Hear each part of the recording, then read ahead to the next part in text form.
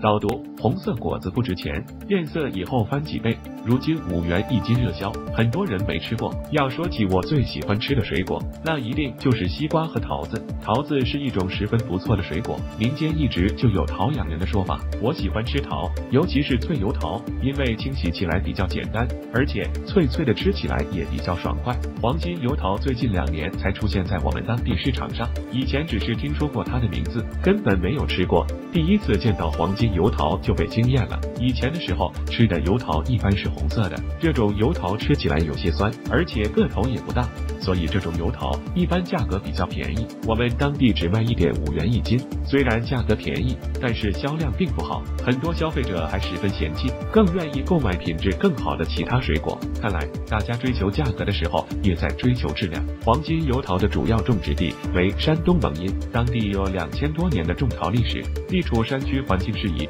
种出的油桃和黄金油桃口味别具一格，因为坚持原生态种植，所以黄金油桃不仅口感好营养价值也特别丰富，维 C 含量更是高于一般水果，一直被誉为天然维 C 丸。美味的黄金油桃西米露，原料：黄金油桃、西米、清水。二、新鲜的黄金油桃清洗干净，中间对半切开，挖取果核，果肉切小块，放入饮料杯中，加入西米和炼奶，搅拌均匀即可。